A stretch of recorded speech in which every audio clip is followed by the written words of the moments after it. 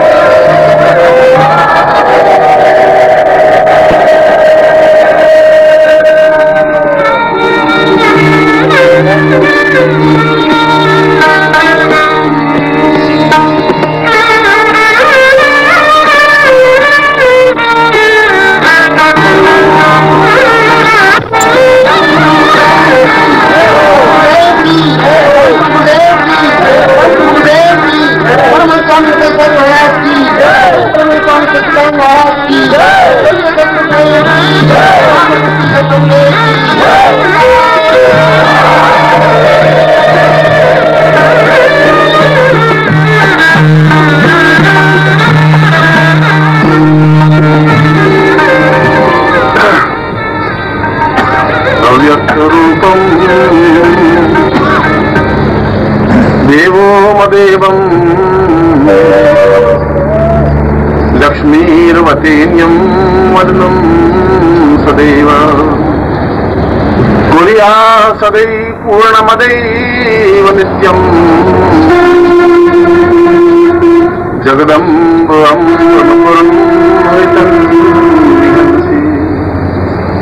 नवरात्रि के दूसरे माँ भगवती जगदम्बा के चरणों में बैठे हुए। हम उस ज्ञान को प्राप्त कर रहे हैं जो अपने आप में नवीन है, जो अपने आप में चिंत्य है शास्त्र सम्मत है, और उन साधनाओं को, उन मंत्रों को, उस ज्ञान को जो मैं व्यक्त कर रहा हूँ, वो परखा हुआ है। देखा हुआ है, अनुभव किया हुआ है। मैंने कई बार अपने प्रवचनों में ये बात कही है कि अन्य साधु संत जहाँ वेदों की या पुराणों की पढ़ी पढ़ाई बात करते हैं, जो कुछ उन्होंने पढ़ा, वो कहते हैं, मैं जो कुछ अपने जीवन में देखा अनुभव किया है, उसको कहता हूँ। खाली आंखन देखी बात नहीं करता हूँ। पोथिन देखी बात भी नहीं करता हूँ। जो जीवन में अनुभव किए हैं कि यदि ये मंत्र सही है तो अनुभव किया है, तभी मैं आपको बताने की क्षमता रखता हूँ। और अभी और कल के दिन जो कुछ कार्य हुए तो काल चक्र तो अपने आप में जीवन में घूमता ही है। समय तो अपने आप में परिवर्तित होता ही रहता है। और कोई भी कार्य, कोई भी संकेत कम से कम मेरी तरफ़ से तो अकारण होता ही नहीं है। प्रत्येक शब्द का अपने आप एक महत्व होता है और प्रत्येक घटना का अपने आप में एक संबंध होता है। और मैं ठीक समय पर ठीक कार्य करता ही हूँ, न एक क्षण पहले, न एक क्षण बाद में। ये बात अलग है कि आप किसी भी मेरी घटना को और कार्य को किस रूप में परखें या देखें, अनुभव करें या विश्वास करें या नहीं करें, ये आपकी बात है। गंगा नदी अपने आप में बह रही है, आप स्नान करें या नहीं करें, आप उसको दूषित जल कहें और आप पवित्र जल कहें, आप उसको पानी पिए या नहीं पिए, ये आपकी बात है। गंगा नदी आपको उठ के नहीं कहेगी कि आप मेरे जल में स्नान करें और पवित्र हों। आपकी विचारधारा और आपका चिंतन कैसा है, वह तो आपका है। कई लोग उसको प्रदूषण युक्त नदी कहते हैं, और उसके पास में भी नहीं खड़े होते। हरिद्वार के सैकड़ों, हज़ारों लोग नदी में मल विसर्जन करते हैं, उनका चिंतन बैठा है। मैं जाता हूँ तो बहुत उस नदी में खड़ा होकर स्नान करता हूँ, बहुत शीतलता अनुभव होती है। ये तो अपने अपने चिंतन की बात है। यह ज्ञान की सरिता भी अपने आप में बह ही रही है। आप उसको अनुभव करें या नहीं करें, समझें या नहीं समझें, लाभ उठाएँ या नहीं उठाएँ। वह आपकी बुद्धि का तर्क है। और जैसा कि मैंने कल बताया कि बुद्धि अपने आप में वेश्या होती है, जहाँ श्रद्धा अपने आप में प्रतिवता स्त्री होती है, वहाँ बुद्धि विभ्रम पैदा करती है, वहाँ बुद्धि कुमार्ग पर गतिशील करती है, वह संदेह पैदा करती है वो आदमी को भटकाती है, वो उस आदमी को अहंकार देती है। और अहंकार अपने आप में जीवन का नाश है। बुद्धि की अतिक्रमणता जीवन का पतन है। और बुद्धि बहुत पश्चिम के लोगों ने बहुत बुद्धि अनुभव की तो उन्होंने आपको क्या दिया? उन्होंने आपको एड्स दिया बीमारी उन्होंने आपको अनुबंध दिया, उन्होंने आपको अशांति दी। तीन और दिए। चौथी चीज़ नहीं दे सके वो। आनंद नहीं दे सके, सुख नहीं दे सके, प्रसन्नता नहीं दे सके, हँसी नहीं दे सके उसको मुस्कुराहट नहीं दे सके, मृत्यु दे सके। इराक में हज़ारों लोगों को मार के दिखा दिया। ये तो बहुत घटिया बात होगी वापस उनको जीवित करते ये बहुत बड़ी बात होती है। वो पश्चिम नहीं कर सकती। बुद्धि नहीं कर सकती श्रद्धा पैदा करती है, श्रद्धा उनको जीवन देती है।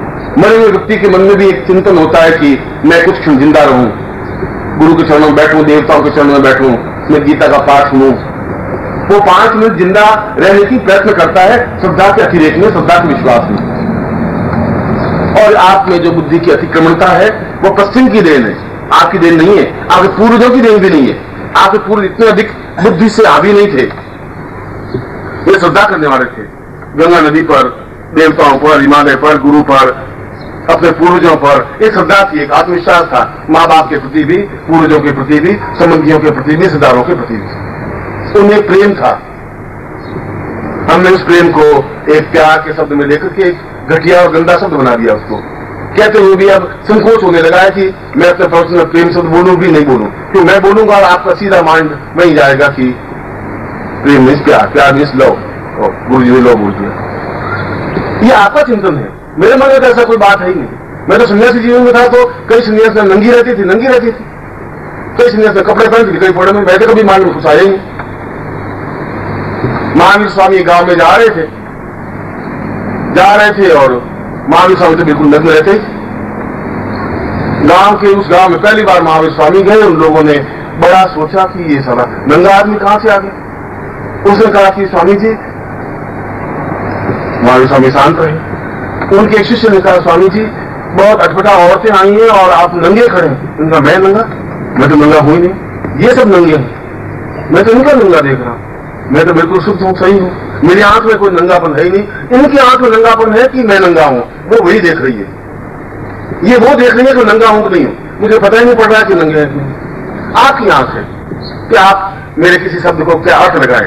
आप वही अर्थ लगाएँगे जो आपके मन में दूषितता है, जो आपके मन में छल है, जो आपके मन में पाप है। किसी के घड़े में, एक घड़े में, अगर नीचे घास फूस हो, और मैं उसमें पानी डालूं, और पानी से घड़ा भरूं तो पहले बाहर क्या निकलेगा?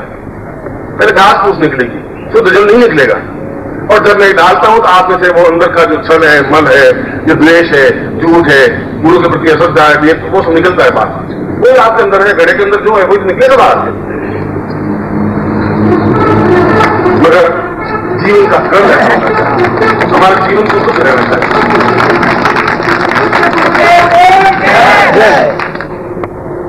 इसलिए मैं बार बार जो आप लोगों को बात कहता हूँ इसलिए कि आपके जीवन में एक अनुकूलता पैदा हो, जीवन में सुख पैदा हो। तुम्हारे जीवन में वैभव भी हो, दोनों हो। मैं ऐसा नहीं करूँ तो निर्धन बन जाओ। ये निर्धन बनने की ख्वाहिश तो महावीर स्वामी ने कर दी, बुद्ध ने की। उन्होंने कर दी, मैंने कहा उन्होंने हमारे जीवन को एक कमज़ोर बनाया। किसी व्यक्ति में गुण भी होंगे, अवगुण भी होंगे। वो ज़रूर नहीं, सभी में गुण ही गुण हो। हमने उनको गुण मान लिया गुण मानने से गुण नहीं होगा। उन्होंने कहा बनाया कि नहीं, धन नहीं चाहिए। जो धनवान है, वो बिल्कुल बेकार है। भूखे रहना चाहिए। दो दिन व्रत करना चाहिए, पाँच दिन व्रत करना चाहिए, ग्यारह दिन व्रत करना चाहिए, और औरतों को तो तीस दिनों में तीस दिन व्रत करना चाहिए। आज एकादशी का व्रत है, आज पूर्णिम का व्रत है, आज विधिपात का व्रत है, वो बेचारी सूखे काटा होती रहती है, व्रत करती रहती है मिलता कुछ नहीं तो घर में खाने पीने के लिए अन्न है कहा कोई शास्त्र मुझे बताए तो सही किसमें व्रत लिखा हुआ है। कोई वेद, कोई पुराण, कोई उपनिषद, कोई शास्त्र, कोई तो चीज़ मुझे सामने लाके रखे देखो किसमें व्रत लिखा हुआ है। व्रत जैसा कोई चिंतन है ही नहीं कहीं। और पीछे जो पंडित पैदा हुए, उनको कुछ आता तो नहीं था। पूर्णिमा की कथा लिख दी। एक राजा था, राजा ने ऐसा किया उन्हें तीन दिन व्रत किया तो उसके घर में पुत्र पैदा हो गया। बस, उसने पूछ पकड़ ली, तीन दिन व्रत रखने से पैदा हो जाता है लड़का।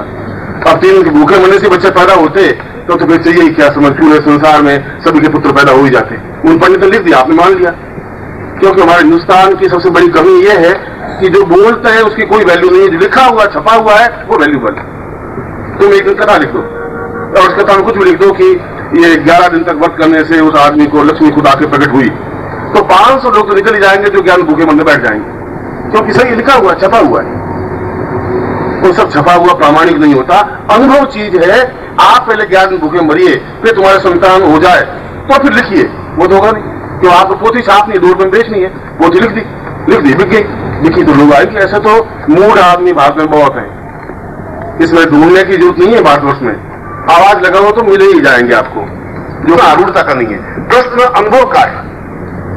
इसलिए इस दरिद्रता को मिटाने के लिए भी जीवन का एक विशेष पर्व, विशेष उत्सव, विशेष मर्म होना चाहिए। विशेष जीवन का चिंतन होना चाहिए।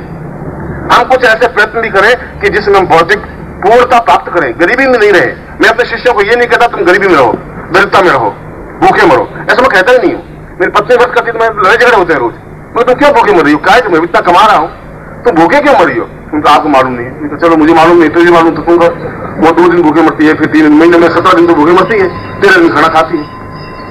खा भाई तेरह दिन और भी दो चार दिन तो और कर ले। जिस के काटा हो जाएगी और क्या कर सकता हूँ? मैं तो रोको तुम समझेगी नहीं। वो औरतें रुकती नहीं है।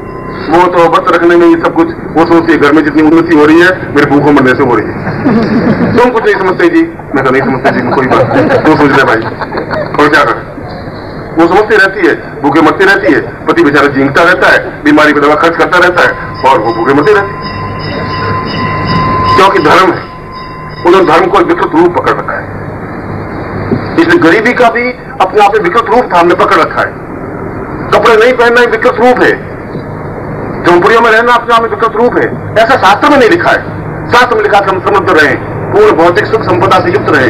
वशिष्ठ, विश्वामित्र, स्त्री, गणा, जितने भी हमारे देवता हुए, ऋषि हुए, कोई गरीबी तो कोई नहीं था। मुझे बताइए कौन सा गरीब था? इतने देवताओं के चेहरे, लाल सुख चेहरे तुम्हारा तो है ही नहीं। शिव जी का चेहरा देखो, राम का चेहरा, कृष्ण का चेहरा, लाल टमाटर की तो सुख है, और तुम्हारे पिच की गाल है। तुम्हारे देवता तो ऐसे, और तुम ऐसे।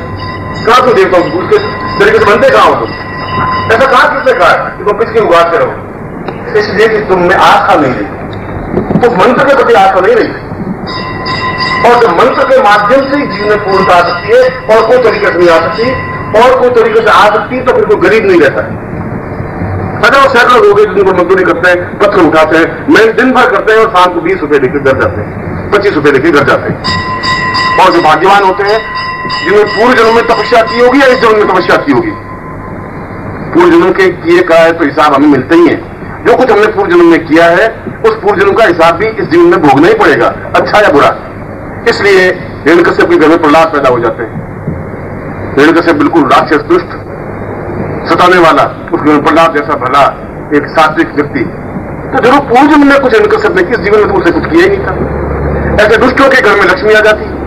और हम आश्चर्य करते हैं कि मैं रोज चार घंटे पूजा करता हूँ लक्ष्मी की, शिव जी की, और ये दुष्ट साला रोज गाड़ियाँ देता है इसके घर में पैसे बसते ही जाते। हैं ये क्या खेल है? जब देवताओं की पूजा नहीं करता, एक बार भी हाथ नहीं जोड़ता। इसलिए कि हमने पिछले जीवन की कड़ी को नहीं देखा। पिछले जीवन की कड़ी और इस जीवन की कड़ी और इसीलिए हमारे निवारण मंत्र में, जहाँ भगवती की आराधना की बात कर रहा हूँ, मैं रोज एक एक बिंदु लेकर के उन बिंदुओं को, जिसके माध्यम से आपके जीवन में भौतिक उन्नति और आध्यात्मिक उन्नति का समन्वय हो सके। खाली आध्यात्मिकता से काम नहीं चलेगा। खाली भौतिकता से भी काम नहीं चलेगा। उन दोनों को हमारे जीवन में बैलेंस होना चाहिए। हमारे जीवन में एक पवित्रता आनी चाहिए। हम जीवन में संपन्न भी रहे, हम जीवन में आनंद युक्त भी रहे। दोनों जीवन चले हमारे। और ऐसा जीवन प्राप्त करने के लिए लक्ष्मी की आवश्यकता है। इसलिए मैंने इस मार्च के अंक में मैंने दिया था कि इस नवरात्रि के दिनों में मैं उस मंत्र को भी दूँगा, जिसके माध्यम से पूर्ण लक्ष्मी की प्राप्ति हो सके। और आप कहें कि हम तो साधु हैं, हमें लक्ष्मी की ज़रूरत नहीं। तो आपको एक्सपेरिमेंट करना चाहिए उस साधु को। आप दो दिन खाना मत दीजिए। और तीसरे दिन वही आपका देखा शिष्य कोई आया नहीं, क्या हुआ? आज कोई जोड़ी कोई आया नहीं, क्या तीसरे दिन उसी लगी देखने कोशिश करेगा। दो दिन तो चला देगा वो, पकड़ के मारे ये सुबह सुबह आँखें भटकेगी, भटके किसी से के लिए। बिना लक्ष्मी के आटा आएगा नहीं, बिना लक्ष्मी पेट में रोटी जाएगी नहीं। इसलिए लक्ष्मी की आराधना करना अपने आप में कोई गुनाह नहीं है। साधु के लिए भी ग्रस्त के लिए तो खैर आवश्यक तत्व है। ज़रूरी यह है कि आपका धन गलत कार्यों में व्यय नहीं हो शराब में व्यय नहीं हो। झूठ छल, मक्कारी, दुष्टता, दूसरों को सताना, इन कार्यों में तुम्हारा धन व्यय नहीं हो। ये ज़रूरी है।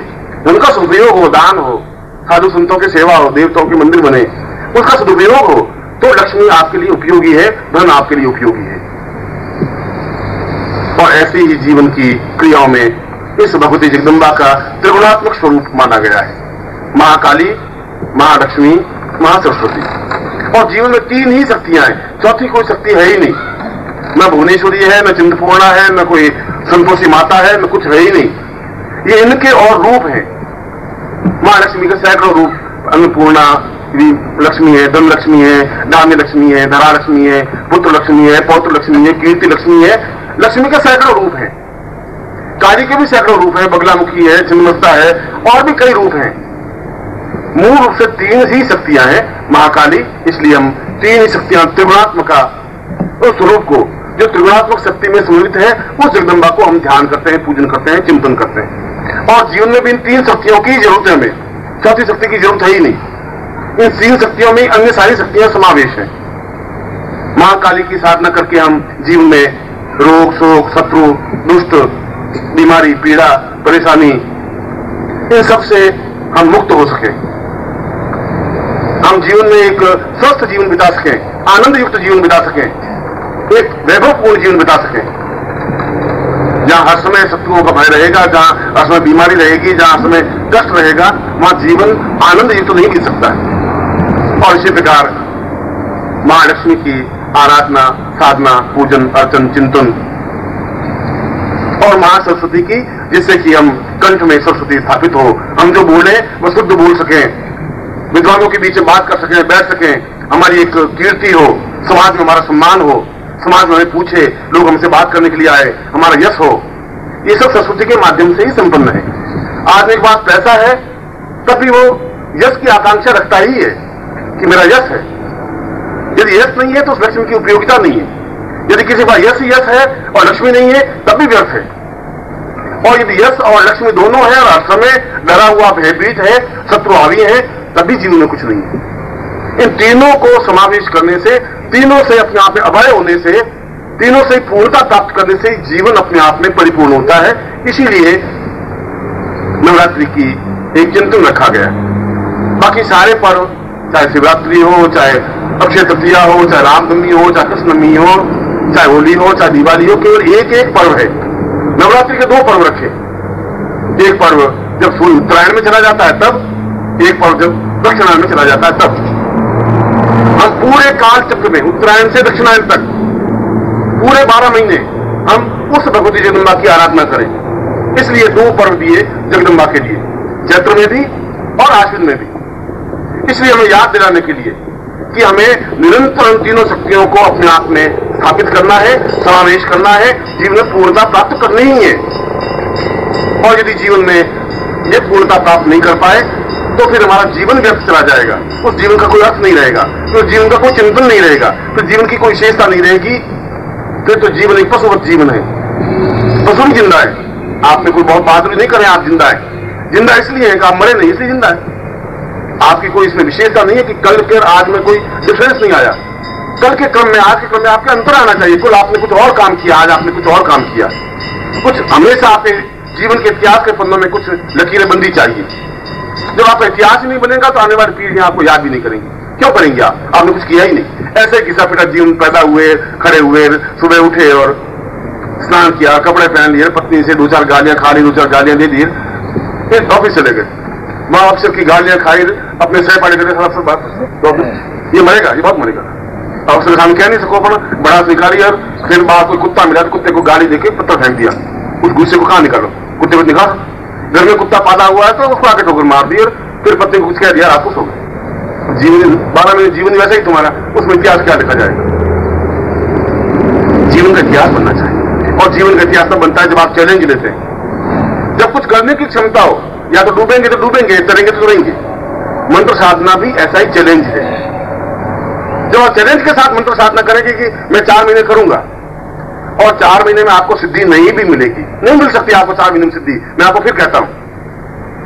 यदि मैं आपको मंत्र बताता हूँ और तुम सोचते हो कि किताब में लिखा है कि नौ दिन में ये साधना सिद्धि मिल जाएगी, और तुम नौ दिन मंत्र जाप करते हो, तुम्हें सिद्धि नहीं मिलती, मिल ही नहीं सकती। नौ दिनों में ये जो मंत्र है, ये जो साधना है, उन लोगों के लिए है जो एमए पास है। और तुम नौ पहली क्लास में अब पहली क्लास वाला नौ दिन में उस पूरे एमए को कैसे कम कवर करेगा? कैसे होगा ये? और तुम कह रहे हो, देखो, नौ दिन मंत्र जाप तो कर लिया नवान मंत्र। जब तुम आई नहीं।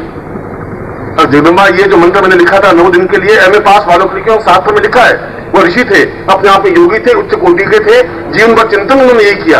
और उस मंत्र को नौ दिन जप किया, और जगदम्बा प्रकट हुई। वो आपके जीवन में है नहीं। अभी तक आपने कुछ ऐसी साधना नहीं की, ऐसी आपका बेसिक बल तो है नहीं। आपकी धरातल नहीं है और जब धरातल नहीं तो नौ दिन में या पाँच दिन में आपको साधना सिद्धि कैसे मिलेगी? पहले आप पहली क्लास में दूसरी, तीसरी, चौथी, पांचवी, छठी, आठवीं, बारहवीं। मैं एक उदाहरण देकर समझा रहा हूँ एमए क्लास का। और जब आप एमए क्लास में पहुँच जाएँगे, उसके बाद गारंटी के साथ पाँच दिन साधना करने पर फल मिलना ही है। अब प्रश्न होता है कि गुरु जी अब तुम पैंतालीस साल के तो हो गए। अब आप नया सुगोपा छोड़ दिया कि अब हम एमए करें। अब एमए करें, मर जाएँगे हम लगड़े मसान चले जाएँगे, आगे चले गए। थोड़े बहुत बच्चे हैं, अब चले जाएँगे। अब वो लक्ष्मी बेचारी कब आएगी तब आएगी शक्तिपात के माध्यम अगर ऐसे नहीं आएगी तो गुरु देगा आपको। क्योंकि सौभाग्य दुर्भाग्य से मैं आपका गुरु हूँ। ये मैं दुर्भाग्य मैं आपका गुरु हूँ। ये आपका सौभाग्य मैं आपका गुरु हूँ। तो से एक ही बात। है इसलिए यदि ऐसा नहीं हो सकेगा तो मैं आपको पहली क्लास से प्रमोशन देकर पांचवी क्लास कराऊँगा। मैंने पाँच एक दो नहीं, चलाऊँगा लगा फ़ोन फिर पहली क्लास मैं पांचवी क्लास में लाऊँगा। फिर पांचवी क्लास से आप ग्यारहवीं क्लास में आएँगे। दूसरी की बात करूँगा तो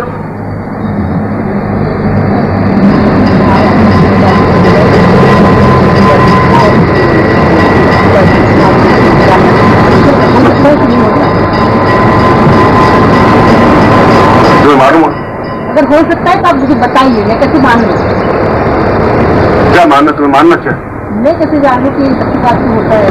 जो ऐसे लोग बहुत ही जाते हैं कई गुरुओं के पास नहीं लेकिन मैंने कभी ऐसा देखा नहीं कि ऐसा होता है ऐसा नहीं होता। लगी बीच में जब मैं प्रवचन कर रहा हूँ तो बीच में आके खड़ी हो रही है। लेकिन जो सच में जानना चाहती हूँ तो मैं जानना चाहती हूँ। और बीच में कैसे तरीका होगा तो तरीका अगर जब जब भी ऐसी बात हुई है तो मैं पूछना चाहती हूँ तो मैं पूछना चाहूँगी बस।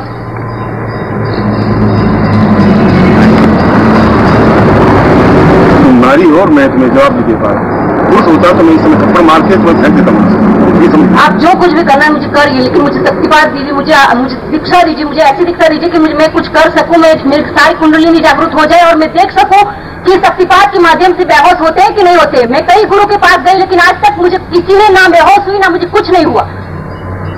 मैंने कई जगह गई, मैं पैसे खर्च किए, मैं मम्मी के साथ भी गई, एक जगह जूनागढ़ के पास, और मुझे वहाँ कुछ नहीं मिला। कहते हैं मैं पूर्व जन्म दिखा सकता हूँ मैं ये कर सकता हूँ मैं वो कर सकता हूँ लेकिन आज तक कुछ नहीं किया उसने।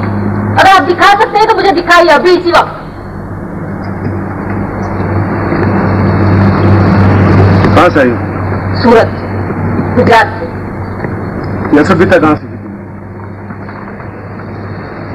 कहाँ सीखा मैंने इतनी जगह में जाके आई हूँ इतनी जगह मेरे साथ छल हुए इसलिए मैं ऐसा कह रही हूँ गुरुदेव जी।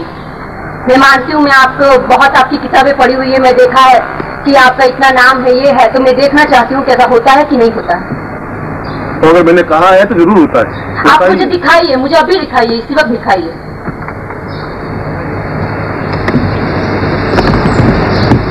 क्या दिखाना है? मुझे दिखाइए कुंडलिनी जागृत मेरी हो जाए और मैं पूर्व जन्म में क्या थी मैं आप बोल रहे हैं कि ये शिष्या है ये है वो है मैंने बहुत बार सुना प्रवचन में भी सुना मैंने पत्रिकाओं में भी पढ़ा है कि मैं पूर्व जन्म देख सकते हैं आप तो मुझे दिखाइए कि वो पूर्व जन्म में, में क्या थी क्यों थी कैसी थी मुझे वो सब चीज़ देखना चाहती हूँ नहीं मुझे अभी दिखना है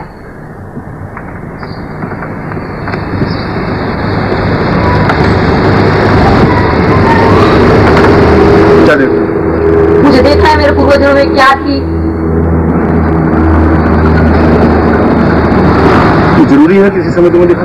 हाँ। ये चार बजे भी देख सकती हो कल भी देख सकती हो जब प्रवचन में बीच में तुम्हें आकर के इस प्रकार से जब लोग मेरा बात सुन रहे हैं और ये गुरुदेव जी ये भी तो हो जाए जिसमें मैं अगर मुझे खुद को एहसास नहीं हुआ कि ऐसा होता है मैं जब हर जगह जाके आई हूँ तो मुझे ऐसा होता है कि गलत हो गई सकता हो कहाँ गई कहाँ हो?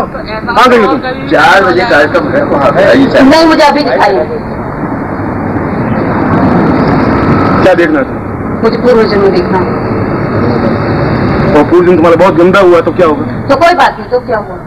मैं तुम्हारे मुँह से निकलूँगा इन सबके सामने? हाँ कोई बात नहीं मैं मैं बोल दूँगी जो भी होगा बोला जाएगा तो बोला जाएगा सुनेंगे तो सुनेंगे लोग उसमें क्या होगा?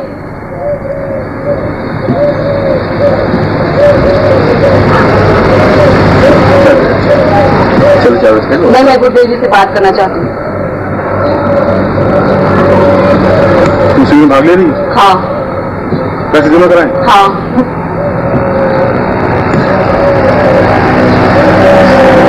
तुमने कहाँ शक्तिपात करवाया किस जगह शक्तिपात मैंने एक बार जूनागढ़ में करवाया था एक बार बड़ोड़ा में करवाया था। था तो वो शक्तिपात करने वाला था भी नहीं। कैसे हाँ, वो वो भी बहुत बड़े जाने माने ऐसे गुरु थे ऐसे कहते थे कि वहाँ उसके कुछ तीन चार हज़ार शिष्य थे और बहुत सारी मतलब उनकी भी सेवा की जाती थी ऐसे ऐसे होता था। और मैं वहाँ जाके बोला उसने मुझे बताया कि हाँ मैं तुम्हें पूर्व जन्म दिखा सकता हूँ शक्तिपात करोगे तुम बेहोश हो जाओगे ये हो जाओगे। उसने मुझे शक्तिपात किया कितने साल मैंने पैसे खर्च किए लेकिन आज तक ना शक्तिपात हुआ ना कुछ भी हुआ मैं ना कुछ बेहोश हुई ना कुछ भी हुआ।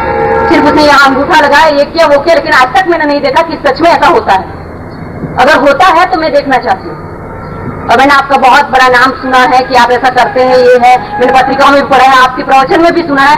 तो अगर ऐसा होता है तो मैं सबके सामने अभी देखना चाहती हूँ। माइक तुम्हारे सामने इसलिए रखा है कि तुम्हें उद्दंडता भी सुन ले। इतना पैसेंस तो मुझमें है। तो नारी का सम्मान करना भी मुझे आता है। गुरुदेव जी मैं आपको बड़ी नम्रता मैं कह सकती हूँ नम्रता है मुझे मैं आपको आप में मुझे बड़ा विश्वास है इसलिए मैं इतनी दूर से यहाँ तक आई हूँ लेकिन मेरे साथ इतने छल हुए इतनी बार मैं ये क्या तरीका तुम्हारा? ये कौन सा तरीका तुम्हारा? क्या तरीका है तुम्हारा ये? ये कौन सा सिस्टम है तुम्हारा? किसने सभ्यता तुम्हें सिखाई कि बीच में तुम्हें खड़ी हो जाती हो? इतनी जगह छल हुआ है तो मुझे होता है कि मैं सच्चाई क्या है वो भी तो मैं देख सकती हूँ। नहीं नहीं नहीं मैं, मैं पूछना चाहती हूँ जानना चाहती हूँ तो मैं जानूँगी ज़रूर जानूँगी। नहीं आप आप बीच में तुम्हारा प्लीज़। उसको या तो ये सिखाई हुई आई कहीं से और या कोई बात। मुझे बस देखना चाहती हूँ मैं तो कुछ नहीं है मेरे साथ।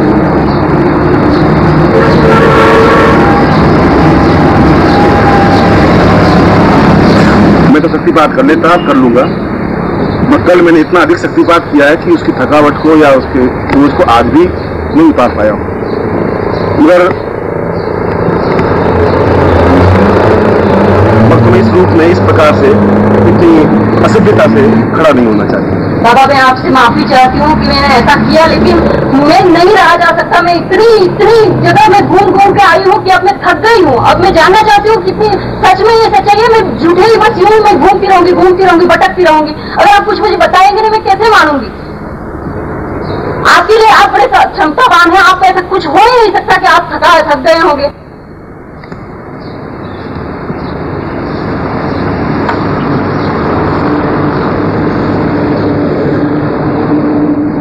तो क्या जवाब मैं मैं जानती हूँ आप बड़े दयालु हैं। दयालु नहीं। मैं तो बहुत गुस्सा भी वाला हूँ। दयालु नहीं हूँ। मैं जब ठोकर मारता हूँ तो वहाँ तक गिरते हैं लोग चालीस फीट दूर। ये भी सुन लेना। ये और समझ लेना तू। ठीक है अगर आप ऐसा ही करना चाहते तो ऐसा कर दीजिए। अगर आप मार देना चाहते तो मार दीजिए लेकिन मुझे दिखाइए। मुझे सच्चाई क्या वो मुझे बताइए आप।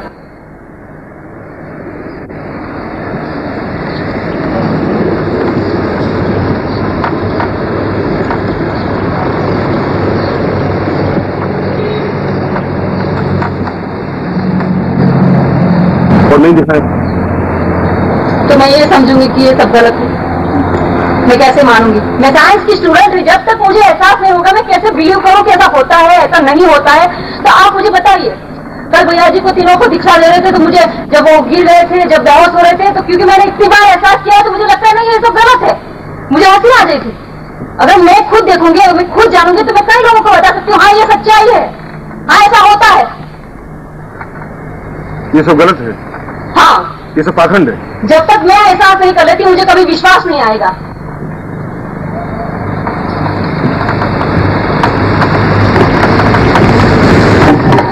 पानी सबसे अधिक हो जाएगी। उद्दंडता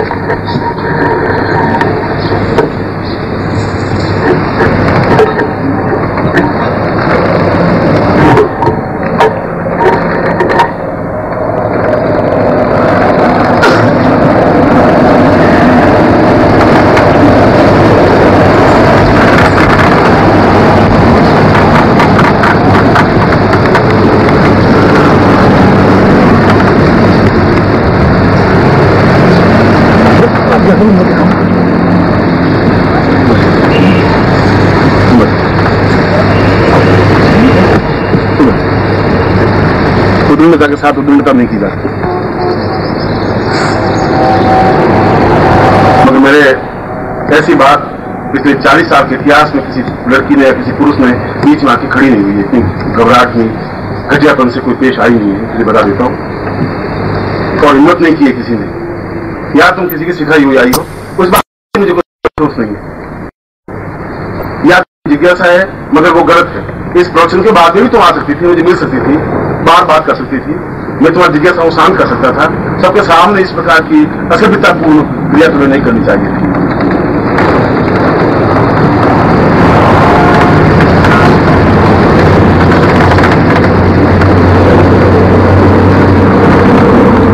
फिर तुम ऐसा सत्यवाद इसलिए सत्यवाद की फ़ीस जमा मैंने सुभाष भैया को कुछ पैसे दिए हैं और मैं चाहती हूँ कि वो अगर वो सच निकलता है तो पूरी मैं बेहोश हो मुझे कुछ होता है मुझे पूर्व में दिखता है तो वो सब पैसा आप ले लीजिए।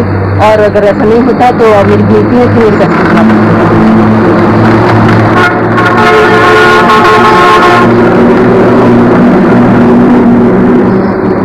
क्या नाम था कहाँ से आइए सूरत। सोचो रहती सूरत के पास एक गाँव।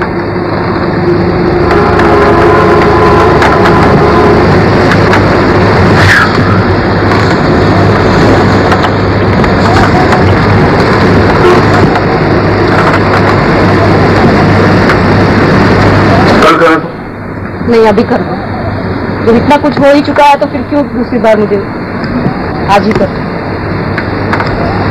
कितने साल के तेईस।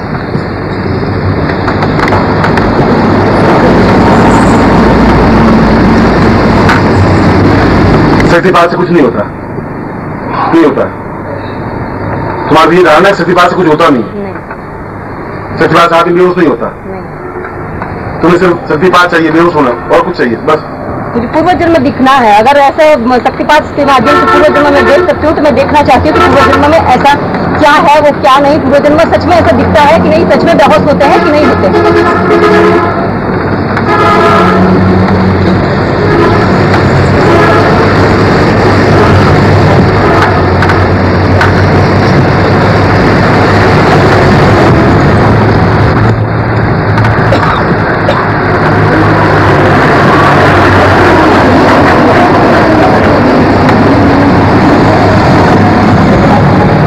किसी बात की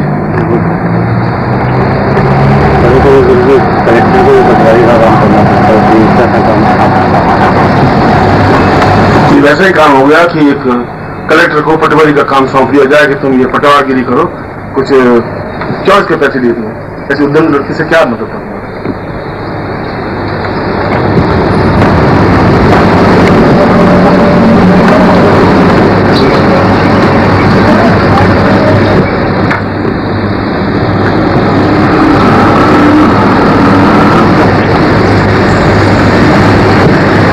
कितनी बार सकती बात करवाए थे चार से पाँच बार।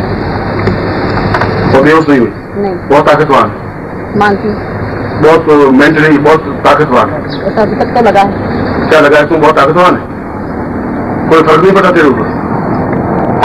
आज तक तो नहीं पड़ा अभी तक तो नहीं पड़ा।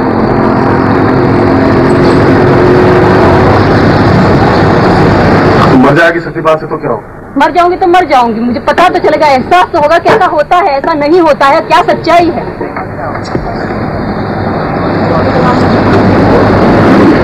तुम्हारे गुजरात में ऐसे पैदा होते हैं क्या लड़के साइंस स्टूडेंट है ना इसीलिए। हाँ वो तो कोई- तुम्हारी साइंस बदतमीजी सिखाती है क्या?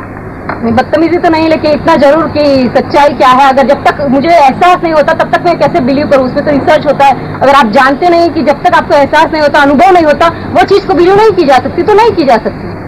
तो तुम्हारा मतलब पूर्व जन्म नहीं होता? नहीं। पूर्व होता ही नहीं? नहीं।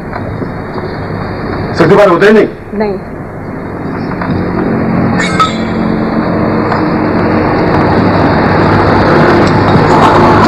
तुम्हें सच बात बहुत ताकत तुम्हें क्षमता है मेंटली बहुत ताकत है तुम्हारे। अभी तक तो ऐसा है।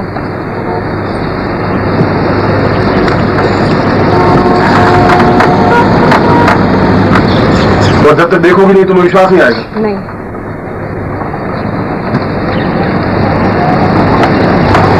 बड़ी दुखी है।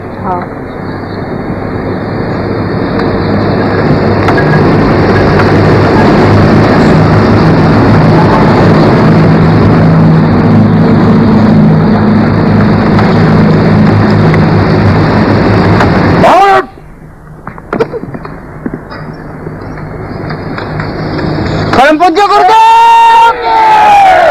परम पूज्य गुरुदेव!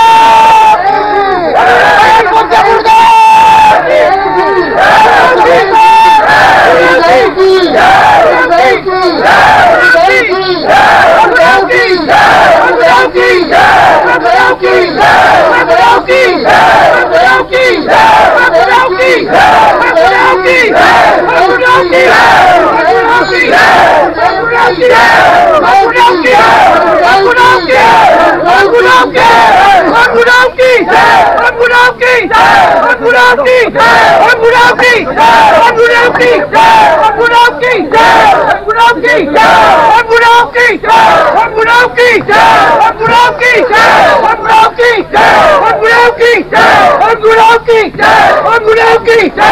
परम पूज्य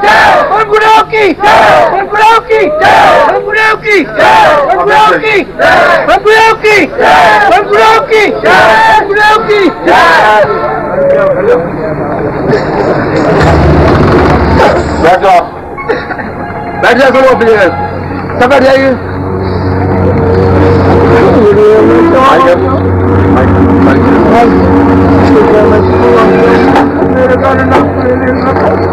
ये रहती नहीं है। जितना उद्यमता से बोलने की क्षमता ही नहीं थी। मगर इसने कहा कि शक्तिपात से कुछ नहीं होता और इसने कहा कि पूर्वजन्म भी कुछ नहीं होता। जब शक्तिपात किया है तो फिर पूर्वजन्म भी, इसकी घटिया पूर्वजन्म भी देख लें हम। और अच्छा पूर्वजन्म हो तो अच्छा पूर्वजन्म भी देख लें। ये तो कपड़े ठीक कर Okay. अल्लाह इधर से स्टार्ट होकर It's my song.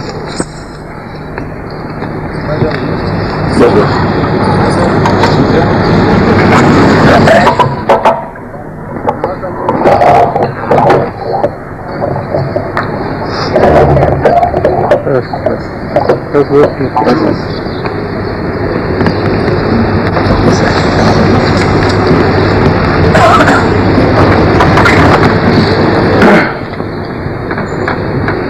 माइक इसलिए लगाया कि आप भी सुन सकें? क्योंकि वहाँ बैठे हुए एहसास नहीं होगा।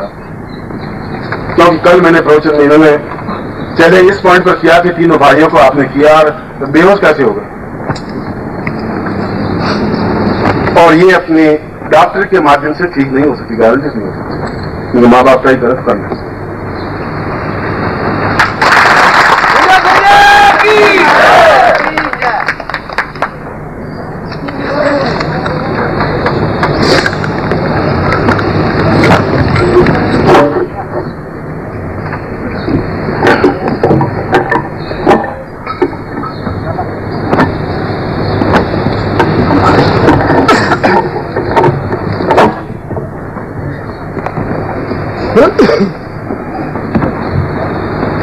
उन्होंने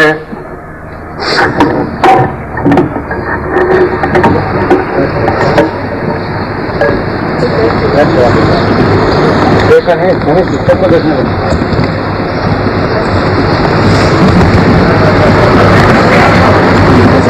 होगा सब बैठ जाए।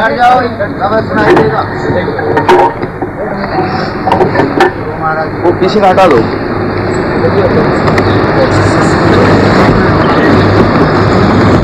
तुम्हें मैं पिछले जीवन में ले जा रहा हूँ और पिछले जीवन में कुछ प्रश्न पूछ रहा हूँ तुम्हें।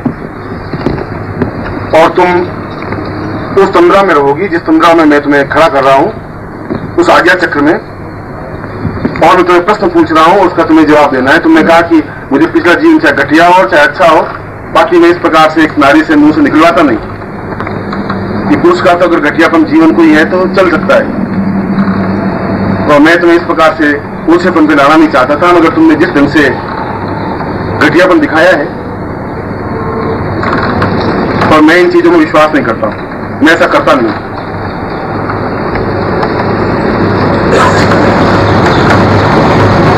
इस जन्म से पहले जिस जीवन में थी, तुम्हें मैं वहाँ ले जा रहा हूँ।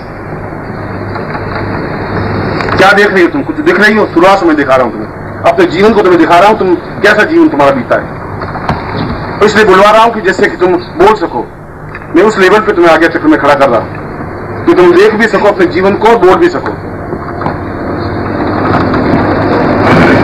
दिखाई दे रहा है तुम्हें कुछ जीवन में?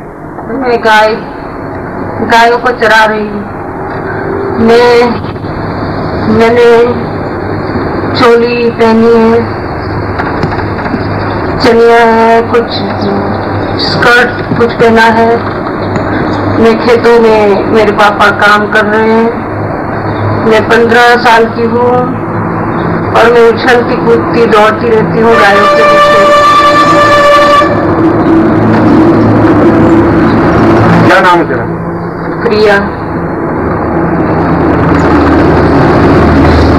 कहाँ रहती है तू एक छोटे से गाँव में कहाँ है ये गाँव? गुजरात में किसी किसी किसी पर्वत के पास है छोटा सा गाँव है जहाँ मेरे चलो इस जीवन को आगे बढ़ाओ और चलो आगे। अब क्या तुम देख रही हो? मैं देख रही हूँ कि मैं बहुत छोटी सी हूँ दस साल की हूँ मैं इधर उधर गाँव में जो बस छोटे छोटे बच्चों के साथ खेल रही हूँ। और थोड़ा पीछे जाओ। और मैं छोटी सी बच्ची सी हूँ। बस मैं खेल रही हूँ मेरे माँ बाप मुझे प्यार करते हैं खाना वाना खिलाते हैं। मैं दौड़ती रहती हूँ आँगन में मस्ती करती हूँ खूब मस्ती करती हूँ मैं। भाई? मेरा एक बड़ा भाई है। बहन? बहन नहीं है।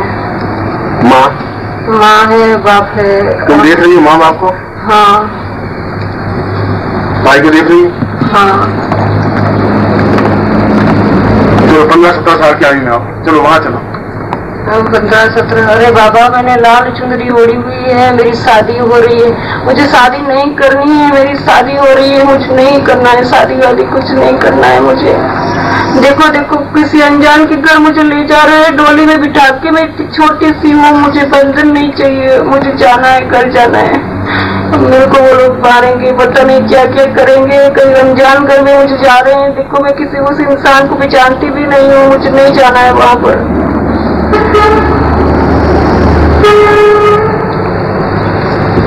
चलो साल दो साल आगे बढ़ो। अरे मैं कैसे फंस गई हूँ? यहाँ पर मुझे वो मारता है पीटता रहता है मेरे साथ झगड़े करता रहता है। मैं कैसे आ गई यहाँ पर? मेरी इतनी अच्छी ज़िंदगी थी खेलती थी गायों को चराती मुझे सबकी याद आती है।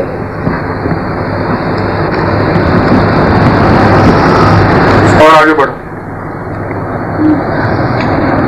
आगे चलो।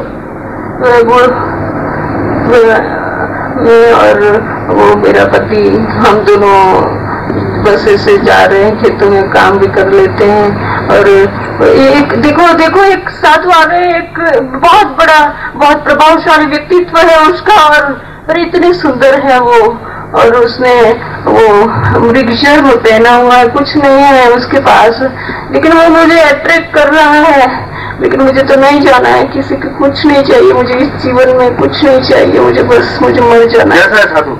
बड़ा सुंदर है प्रभावशाली है बस चौड़ा सीना है लंबा सा है सुंदर है। चलो आगे चलो। देखो ना मेरे पति तो उसके वो साधु को मारने लग गया है उसके उसको गुरु बना लिया है। अरे ये सब क्या चक्कर है कुतेज जी? अरे अरे, नहीं ऐसा सब नहीं होना चाहिए। ये कर पता नहीं कहाँ ले जाएगा। वो- बच्चे हुए नहीं बच्चे बच्चे कुछ नहीं हुए हैं। चलो आगे चलो। आगे चल। वो मुझे वो गुदरेज में भी बहुत बहुत मानने लगी। मुझे अट्रैक्शन होता है मुझे ऐसा लगता है मैं खींची चली जा रही हूँ। हम दोनों साथ निकल पड़े हैं, मैं और मेरे पति, वो गुरुदेव के साथ निकल पड़े हैं। बस हम लोग ऐसे जा रहे हैं जैसे एक बहुत सुंदर जगह आ गई और हिमालय है और बड़े जैसे पर्वत, हरियाली हरियाली है, कुछ बर्फ़ सी जमी हुई है। बड़ी सुंदर गंगराएँ दिख रही है मेरे को और और वो झरने से बहते हैं, कुछ प्राणी इधर उधर घूम रहे हैं। बड़ी सुंदर जगह है, वहाँ कमल के फूल भी खिले हुए हैं। पता नहीं इतनी सुंदर जगह है। तुम क्या करिए मैं अभी गुरु के पास बैठी हूँ और कुछ साधना कर रही हूँ। चलो पाँच सात साल आगे चलो। अब मैं तो मैंने तो संन्यास ले लिया और। और मैंने संन्यास ले लिया और मैं गुरुदेव की बहुत ही सेवा करती हूँ। हर बार मेरे चित्त में यही आता है कि बस मैं उनके लिए क्या करूँ ये करूँ वो करूँ वो करूँ बस इसके सिवा मेरे दिल में कुछ नहीं आता है। मैंने अपने पति को भी भैया के रूप में स्वीकार कर लिया है। मुझे समझ में नहीं आ रहा मैं इतना इतनी सेवा में लगी हुई हूँ बस उसके सिवा मुझे कुछ ध्यान नहीं रहता है।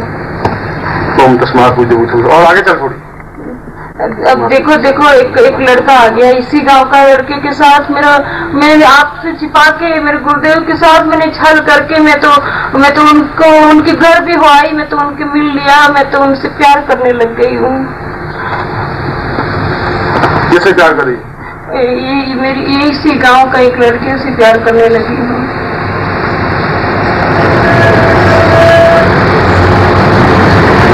का आसमानी गई हूँ। किससे प्यार करी? ये मेरी यही इसी गाँव का एक लड़के से प्यार करने लगी हूँ।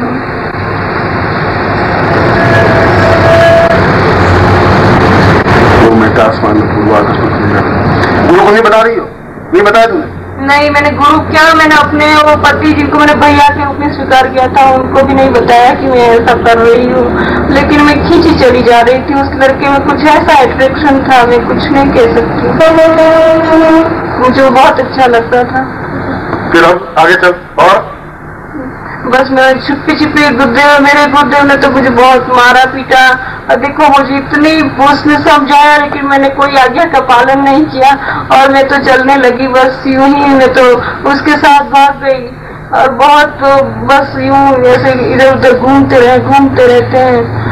और देखो मुझे वो बहुत पिटाई कर रहा है, मैंने अपने गुरु के साथ ऐसा क्यों किया, क्यों चल किया? नहीं नहीं, वो मुझे बहुत पिटाई कर रहा है, मुझे नहीं, ऐसा नहीं करना चाहिए था। मैंने जो किया, वो गलत किया है। गुरुदेव, मुझे बचा लीजिए, लेकिन मैं जानती हूँ, आप मुझे नहीं, कुछ नहीं करेंगे। मैं तड़प रही हूँ, मुझे बचा लीजिए। मैंने आपके साथ चल करके बड़ी गलती की है, गुरुदेव जी। बड़ी गलती की है मैंने आपके साथ चल करके। मुझे बचा लीजिए, मुझे आपके शरण में ले लीजिए। मुझे मत भटकाइए, गुरुदेव जी, मुझे मत भटकाइए। मुझे कुछ दीजिए, मुझे क्षमा कर दीजिए। गुरुदेव जी, मुझे क्षमा कर दीजिए। मैं कुछ, मैं जानती हूँ, मेरा कोई चारा नहीं है, ना मैं आपके पास आ सकती हूँ, ना मैं इससे पला छुड़ा सकती हूँ। कोई बात नहीं, मैं कुछ जहर खा के मर जाऊँगी। मैं ये सारी नींद की गोलियाँ लेके मर जा रही हूँ, देखो, मैं चली जा रही हूँ।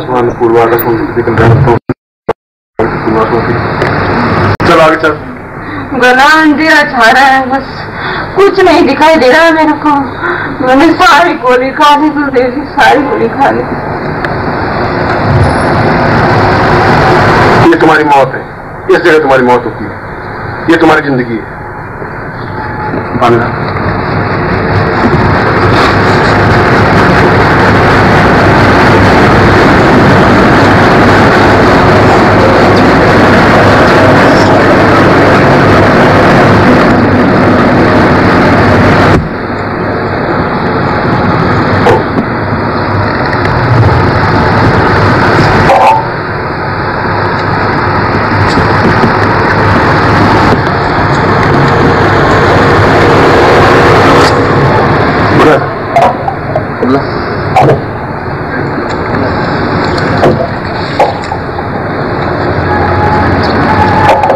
चलो बैठ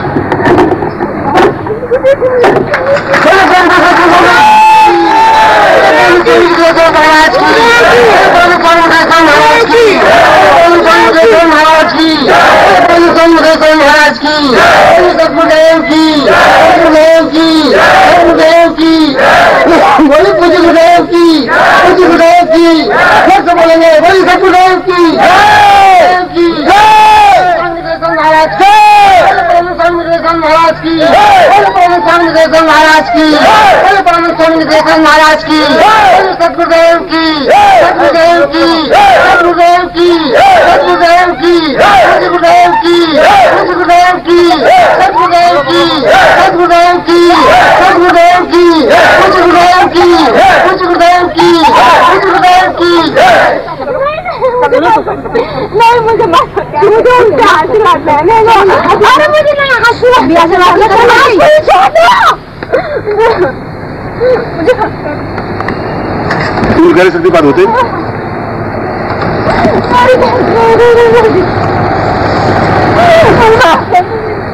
तो मुझे क्षमा कर दीजिए मुझे नहीं तो और गाड़ी में सब काम खड़े मुझे क्षमा कर दीजिए। मुझे मैं बहुत पड़ जाती हूँ अगर मुझे जी रहा है सामने मुझे जी मुझे अब बचना चाहिए मेरा आप मुझे बहुत बच्चे मुझे मत चलो गुड्डू की आज्ञा मानो अब गुड्डू की आज्ञा मानो पहले चलिए उसमें चलिए चलिए। गया। आज्ञा है चलिए। गुड्डू की आज्ञा चलो बेटा सर चलो। चलो। गुड्डू को उससे चला गया आगे आगे बढ़ी चलिए की आज्ञा चलो। चलो। ये शिक्षक जो सन्यासी कैसा था।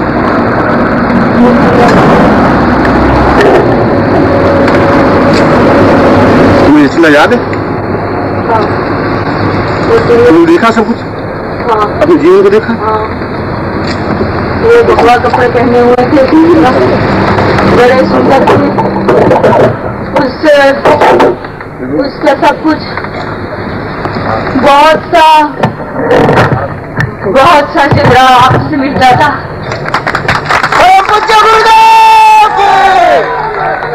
आनंद के। तुमने कहते तुमने जिन से दी नहीं लोग से मेरे थे ही अब मुझे एहसास हुआ है जब मैं जाना जब मैंने देखा है अपनी नज़रों से। अब तुम्हारा साइंस क्या करेगा अब मैं मानती हूँ कि मैंने ऐसा होता है। चलो।